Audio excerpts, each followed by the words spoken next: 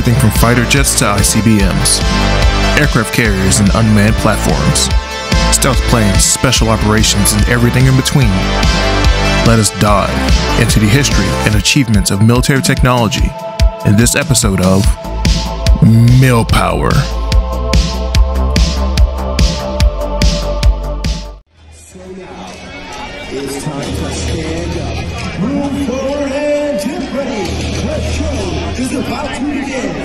Ladies and gentlemen, I present to you the most pure combat aircraft in the world today, your F-22 Raptor.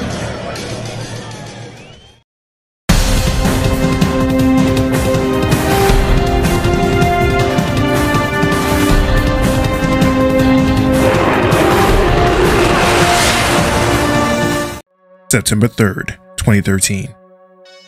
The skies over Estonia.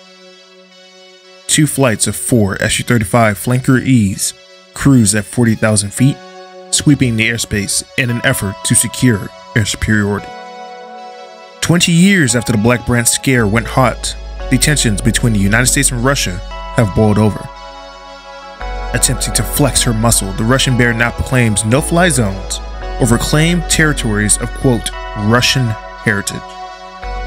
A few weeks prior, a Russian Su 27 flew into an unmanned MQ 9 drone, crashing it into the Black Sea, and two Su 35s were scrambled to divert a U.S. Air Force RC 135 Rivet Joint Reconnaissance aircraft off the coast of the Aleutian Islands.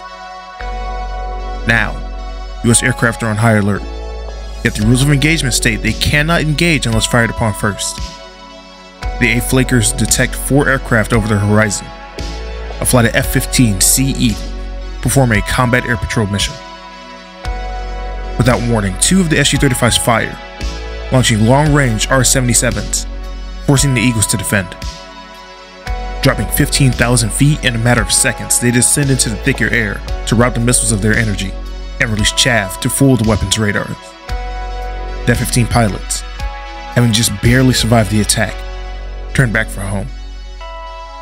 40,000 feet above them streaks four contrails, moving east at nearly twice the speed of sound. Roughly 75 miles away, the flankers push the attack, accelerating when one of the aircraft suddenly turns sharp, descends, then erupts into a ball of flames. Then another, and another, and another. Quickly, the remaining flankers scatter, breaking off in all different directions, dumping chaff and chaos ensues over their radios. None see enemy aircraft on their instruments, and they can't tell where the missiles are coming from. The survivors turn tail and accelerate back towards the Russian border, not knowing if their aircraft is the next to explode. From the ground, people in the Estonian countryside can see the four contrails high in the clouds and hear a sonic boom as they tear across the sky. Those four streaks a flight of stealthy F 22A Raptors. They had been flying behind and above the Eagles, silently tracking the hostile flight of Su 35s. An all out air war has broken out over Eastern Europe, and the many Raptors stationed at NATO bases around the continent helped turn the tide, establishing air supremacy in the coming days. Thankfully, this is nothing more than an exercise of alternate history Yet the scenario helps demonstrate the overwhelming advantage the world's first fifth generation fighter provides. In today's episode of the Milpower series, we will review the King of the Skies, his origins, traits, specifications, and future.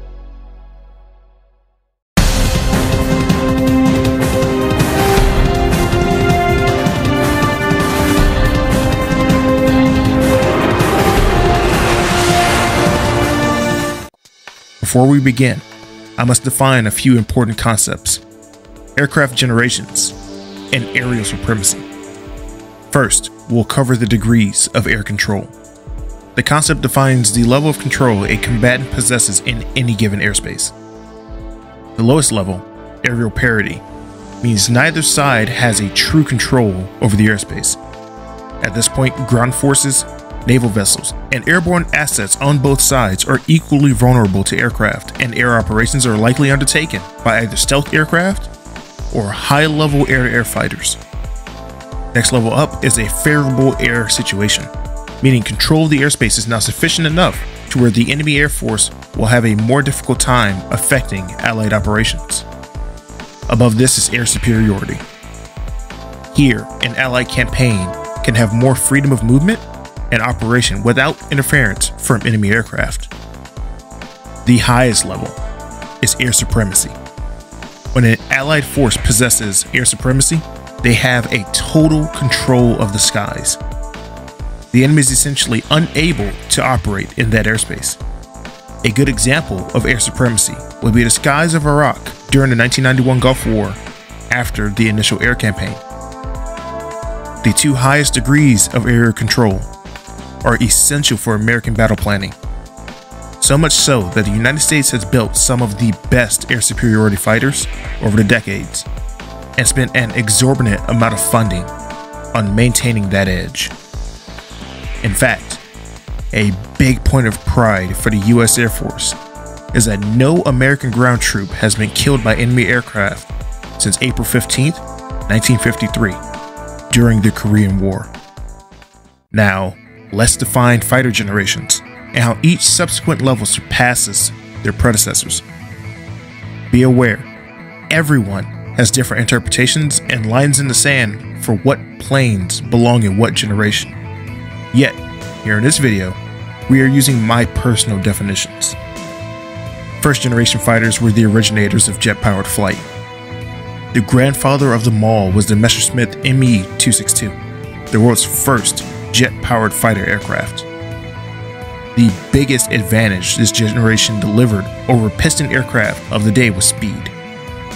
While the US Army Air Force's mainline propeller driven fighter, the legendary P 51D Mustang, topped out at 440 miles per hour, the ME 262 could reach a max speed of 560 miles per hour. Other members of the Grandfathers Club are the British Gloster Meteor, the American F 80 Shooting Star, F 86 Sabre, and Soviet MiG 15.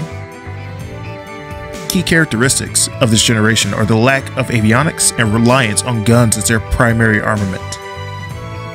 The successors to the old timers arrived during the Korean War. Marked by the advent of air to air missiles and better avionics, second generation fighters represented a massive technological leap to the air forces they were in service with. The design philosophy of early Cold War fighters was that of fast moving, nuclear armed planes that could fly behind enemy lines to strike and rapidly leave the area. As aircraft became faster, it became apparent that in aerial combat, guns alone just wouldn't cut it, prompting the introduction of guided missiles. Examples of this generation include the F 102 Delta Dagger and the MiG 21 Fishbed. The arrival of third generation fighters saw the technology introduced in a prior family of aircraft mature and develop pushing missile ranges out beyond the horizon along with new avionics to utilize these weapons were hallmarks of this series of fighters. Large Doppler radars enabled look down, shoot down capabilities, allowing a high flying fighter to scan the airspace beneath them, not only tracking low flying enemies, but also cruise missiles. Another major indicator of this generation the introduction of more dedicated mixed use aircraft, such as fighter bombers, when compared to the strictly air to air roles the majority of first and second gen planes fulfilled. Members of the Gen 3 Club are the F 4 Phantom, F 5 Tiger, and MiG 25 Foxbat.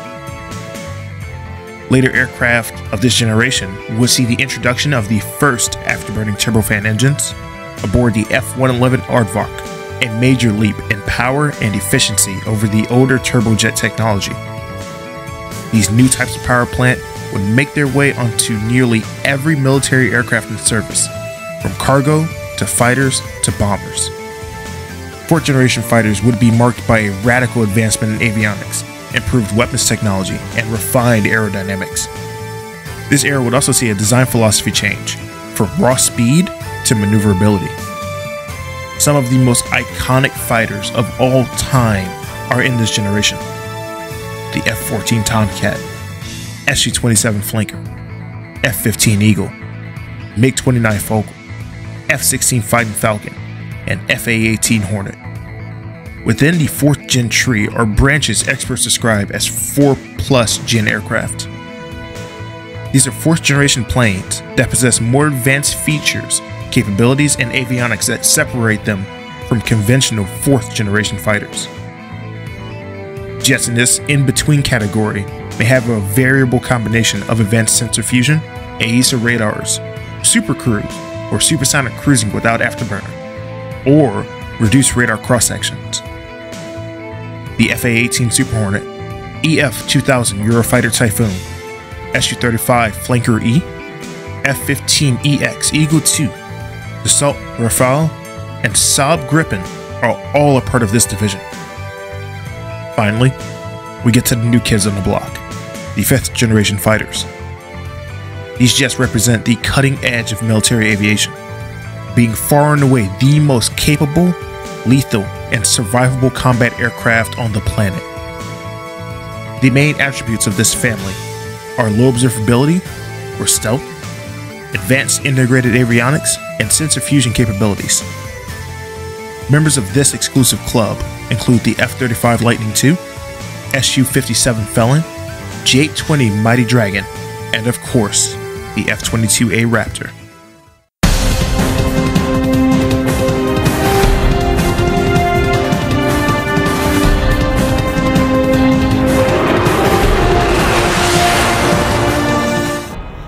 During the early 1980s, it became apparent that America's edge in air dominance was waning. New Soviet built fighters such as the MiG 29 and Su 27 Flanker had closed the gap with the US Air Force's F 15 Eagle and F 16 Fighting Falcon.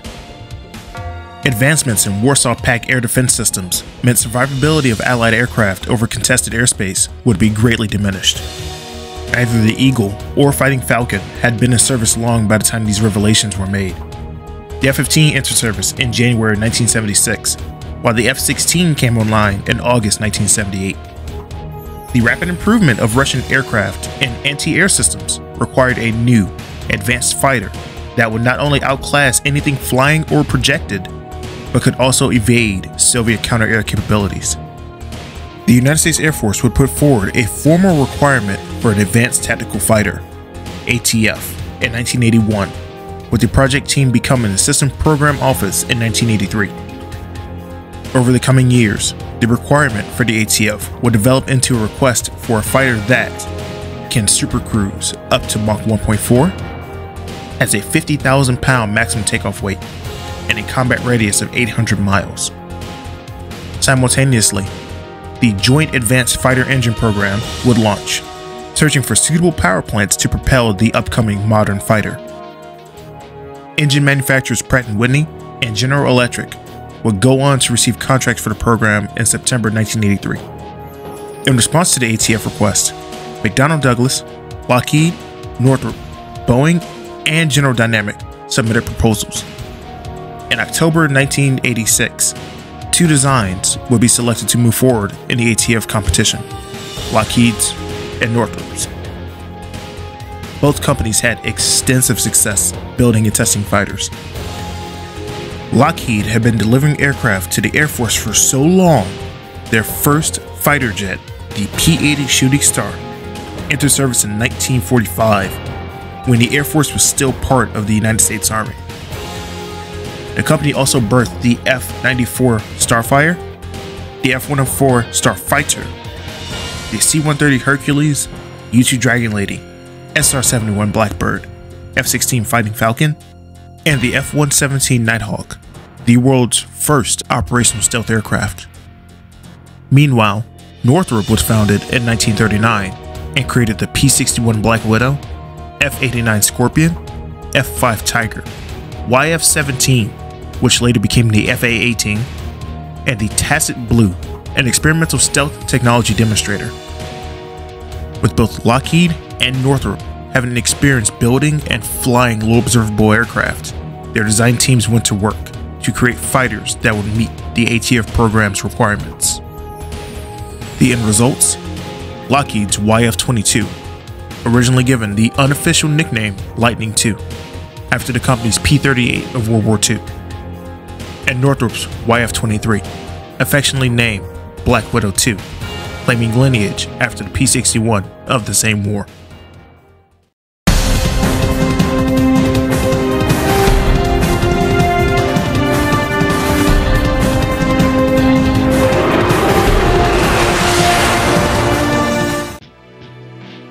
As the ATF reached the latter days of the competition, two advanced prototype fighters and a pair of revolutionary experimental engines would take center stage. There would be two of each fighter built, one pair powered by GE's YF-120 engine, while the others would sport Pratt & Whitney's YF-119. Due to the performance requirements placed by the Air Force and the hardware needed to meet them, the estimated gross weight of the aircraft designs rose to 60,000 pounds. To compensate for this increase, the target thrust output was raised to 35,000 pounds per engine. GE's YF-120 was a cutting-edge piece of hardware. Unlike their competitor's engine, which was a fixed bypass afterburning turbofan, the YF-120 was a variable cycle engine, or VCE. VCEs are unique as they automatically alternate airflow inside the power plant to meet the pilot's input. So if the plane is at a high altitude and cruising, the engine would bypass more air for better fuel efficiency. But if the pilot throws the throttle to full afterburner, the airflow would then reroute into the center of the turbine to provide better thrust. The bypassing cooler air can also be utilized for thermal mitigations. It can be pumped directly into the exhaust or even cool the aircraft itself. General Electric would also fit a 12% larger fan to the engine to increase overall airflow. On top of this, the engine had fewer parts than the YF-119, while weighing only 5% heavier. All of these factors combined to make the YF-120 the superior engine in testing. Of the four prototype aircraft, the pair with the YF-120 demonstrated higher performance capabilities. For example, the YF-23 with Pratt & Whitney's engine would reach a supercruise speed of Mach 1.43, while the Black Widow sporting GE's VCE was recorded cruising at Mach 1.6. The YF-22 prototype with the same engine would reach a cruising speed of Mach 1.5.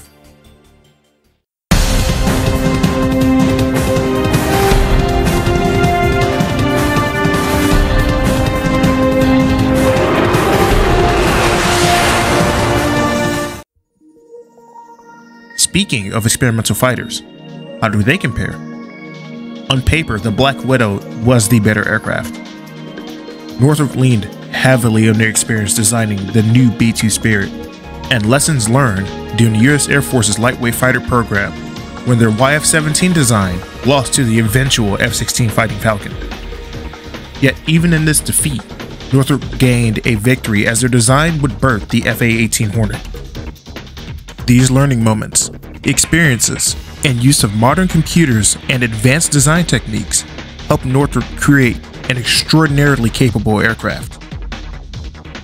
The Black Widows were not only faster than the YF-22s, but they were also stealthier, and as mentioned earlier, aircraft sporting GE's YF-120 engines displayed superior performance. In order to save weight, Northrop elected against using thrust vectoring nozzles, instead utilizing a sunken exhaust design and placing special handcrafted heat dispersing tiles and nozzles to better dissipate infrared energy. To achieve enhanced levels of maneuverability without thrust vectoring controls, the YF-23 prototypes featured an advanced moving V-tail design. They were canted 50 degrees outwards and the entire tail moved as a control surface for pitch, roll, and yaw.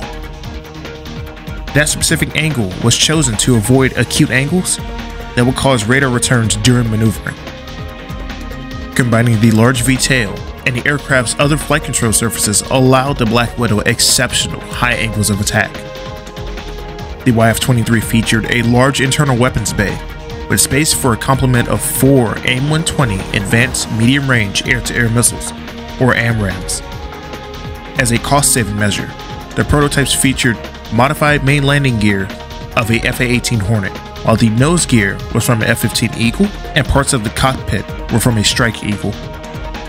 As both engines in the program were capable of 35,000 pounds of thrust and the aircraft had a gross weight of roughly 51,000 pounds, this prototype fighter had a thrust to weight ratio of 1.36 to 1.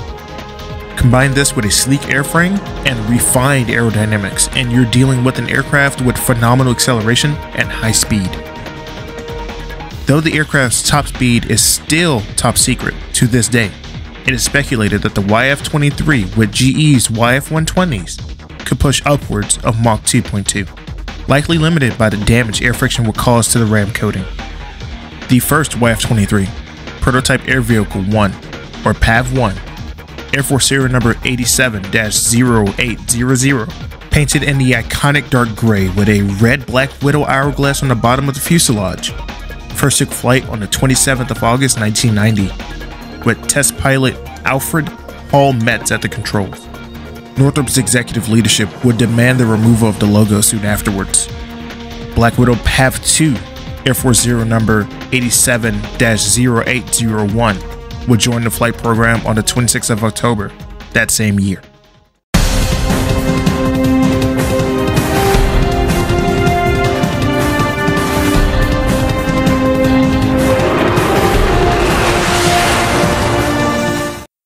Lockheed was no pushover in the military aviation space. This wouldn't be a walk in the park for the Northrop team and their YF 23. Lockheed's legendary Advanced Development Projects Division better known as Skunk Works, were responsible for many black aviation projects during the Cold War. Here are a few of those iconic designs. The U-2 Dragon Lady high altitude reconnaissance plane was operated by both the US Air Force and CIA. The U-2 first flew in 1955, entered service in 1956, and still flies today. You have the legendary SR-71 Blackbird, the fastest and highest flying manned air breathing jet aircraft ever built. First taking flight in 1964 and joining the CIA and US Air Force in 1966. The Blackbird was a long range strategic reconnaissance aircraft that could fly at an absurd 85,000 feet and cruise it up to Mach 3.2 or 2,200 miles per hour.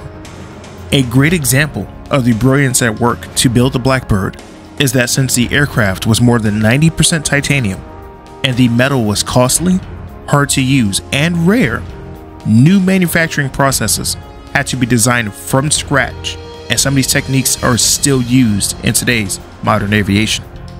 The Blackbird was also an early attempt at reducing an aircraft's radar signature.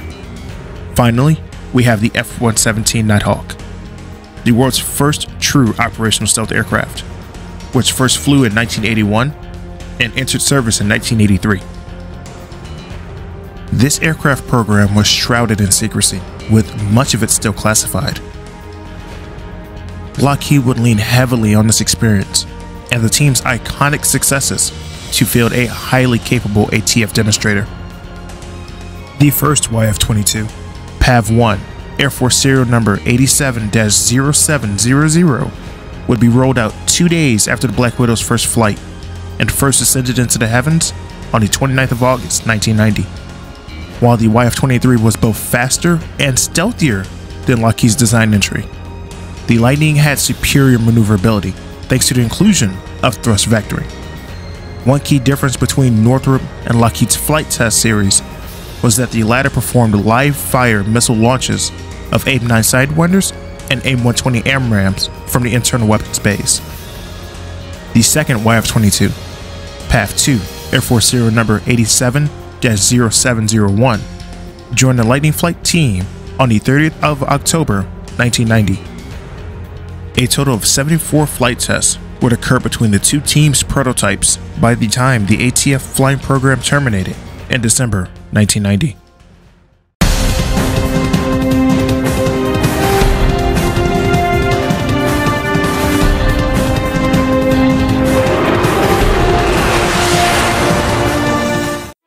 So, we met our competitors, measured their strengths and weaknesses, saw the background of their companies, and where the teams drew their experience from. Northrop went for a faster, stealthier design, seeking an aircraft that could soar high, cruise fast, and strike without warning. Lockheed, on the other hand, focused on a stealth platform that could also attack without detection while flying at altitude and supercruise, yet placed a larger emphasis on within visual range dogfights. So, who would win this competition to become America's next generation air dominance fighter? On paper, this is an easy win for the Black Widow 2. Following the flight test phase, both contractor teams submitted their engineering and manufacturing development, or EMD, proposals for full scale production, seeking the ATF contract. The outcome of the competition would come on the 23rd of April 1991, when Secretary of the Air Force Donald Rice would announce the YF 22 as the winner. There has been a lot of speculation over the years as to why the Black Widow 2 was not selected. Reasons range from the YF-22 having better mobility to Northrop's mishandling of the B-2 Spirit procurement. Personally, I believe it was a combination of multiple factors. The Spirit program's cost overruns, the YF-22 performing missile launch tests, while the YF-23 did not. Lockheed's use of PR buzzwords and advanced flying maneuvers compared to Northrop's use of more technical terminology and relying on raw data along with the Air Force's focus on maneuverability since the end of the Vietnam War, starting with the F 15 Eagle. The Joint Advanced Fighter Engine program would conclude in August 1991, awarding the contract to Pratt & Whitney's YF 119. Now, you may ask, I thought both prototypes powered by the YF 120s outperformed Pratt & Whitney's entry. How did the lesser engine win? Simple answer complexity and risk. While GE's power plant provided enhanced capabilities, primarily in acceleration, top speed, and cruising velocity, the engine design was very risky. The highly advanced turbine was a very complex piece of engineering. The concept of an adaptive engine had massive upsides, yet also presented an enormous risk if the unproven technology failed after years of operation or a flaw arose later in production the YF-19 was seen as a safer bet for slightly diminished performance capabilities. Lockheed Martin's submitted EMD design would evolve into a very familiar shape. From here, the YF-22 Lightning II transforms into the F-22A Raptor, and the King of the Skies would come into its own.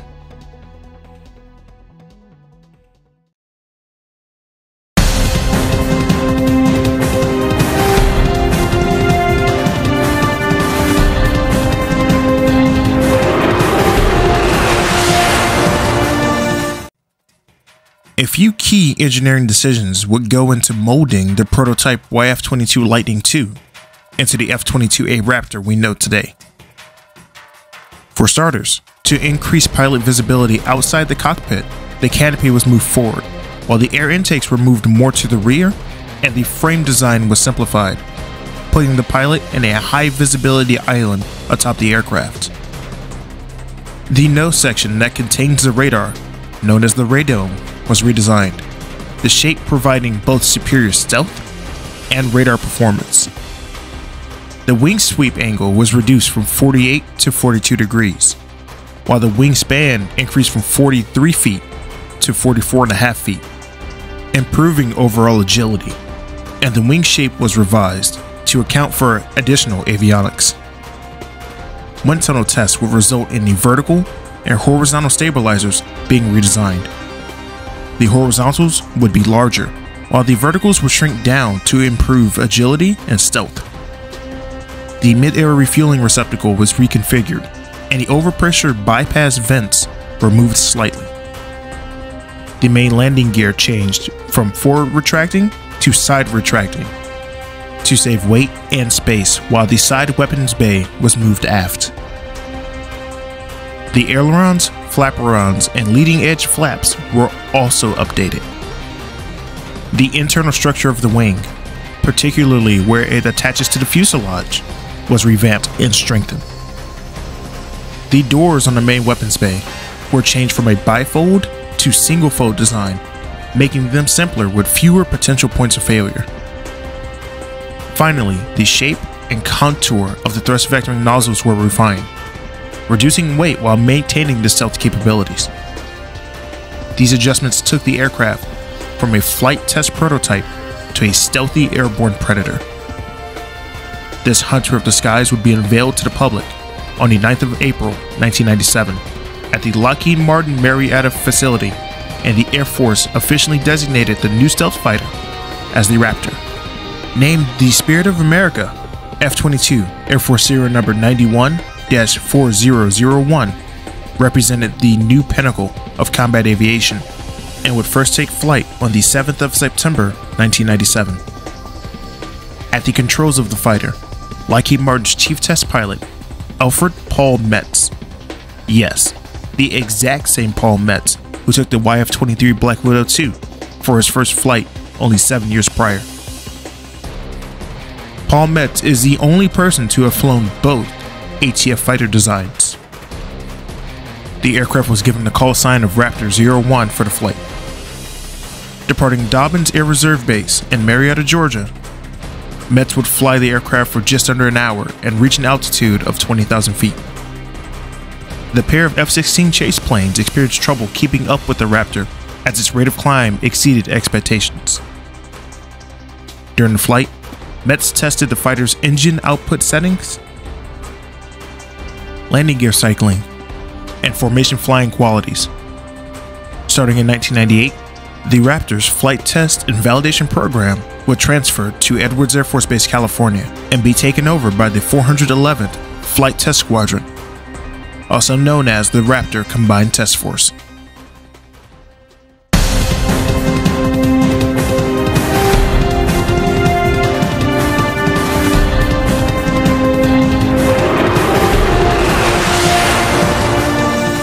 Unlike previous fighter development programs, the flight test program team was closely integrated with the design team from the inception of the Raptor Combined Test Force. Testing instruments were incorporated into the nine engineering and manufacturing development Raptors, built for the 111th Flight Test Squadron. Aircrafts 4001 through 4009 would join the CTF between 1998 and 2004, pushing the limits of the airframe's design and unveiling some truly remarkable capabilities. The CTF had a single goal to determine if this new fighter could do everything it promised. The testing regiment would cover all capable altitudes, speeds, and G loads. Raptor 4001 would make its first flight at Edwards on the 17th of May 1998, signifying the formal beginning of the flight test process. A few months later, on July 30th, the same F 22 will partake in an hour and a half long mission with a KC 135 Stratotanker, testing the safe limits of operations for mid air refueling. Her flight career would end in 2000 when she was transferred to Wright Patterson Air Force Base, Ohio for live fire damage tests. Raptor 4002, nicknamed Old Reliable, rejoined the flight program in late August 1998, being flown to Edwards from Marietta by then Director of Operations for the 411th Flight Test Squadron, Major Stephen Hooter Rainey. The four and a half hour cross country flight demonstrated the endurance of the platform. After the flight, Major Rainey stated, It is the best flying aircraft I have flown, and it sets a new standard of excellence in fighter aviation. A pillar of the Raptor program, Major Rainey flew one of the chase planes that followed Paul Metz's F 22 during the Raptor's first flight. He also performed the first mid air refueling in the jet to fly cross country, and was the first active duty U.S. Air Force pilot to fly the new stealth fighter. Aircraft 4002 would be utilized for testing high angles of attack and weapon launches from the internal weapon space. Internal weapon testing took place on the ground, ejecting AIM 120s from the main bay while also jettisoning tanks and pylons stored on the wings. The fighter would be transferred to Tyndall Air Force Base, Florida as a ground instructional training unit. Aircraft 4003 joined the CTF in March 2003 and was unique, being the first F 22 with the internal structure of a full production Raptor. This allowed the fighter to be utilized for tests requiring a 100% maximum load. It would also be the first aircraft to operate the internal M61A2 Vulcan cannon. However, it would only stay with the program for just under a year. On the 28th of September 2004, Raptor 4003 will undertake a flight test with two external tanks, during which the airframe would be overstressed. After passing through the wake of an F 16, flight control software errors caused the aircraft to lose control. Though the maximum allowed G limit for this flight with a pair of bags on the fighter was listed at just over 7 G, the pilot pulled 11.7 Gs to recover. The aircraft landed safely yet never flew again. While the earliest EMD Raptors flew test flight characteristics and weapons testing, the brains of the F 22 was flying on board a modified Boeing 757 flying testbed. The avionics would be refined before flying on Raptor 4004 the first F 22 containing all of the sensors needed to locate, target, and shoot enemy aircraft. From this point on, all subsequent entries from 4005 to 4009 will be flown by the CTF, performing various tests ranging from weapons, speed, altitude, and G forces. Today, even after the F 22 entered service in 2005, Raptors 4006, 4007, 4009 are still flying with the 411th Flight Test Squadron, testing new capabilities and sharpening the teeth of the ultimate predator of the skies.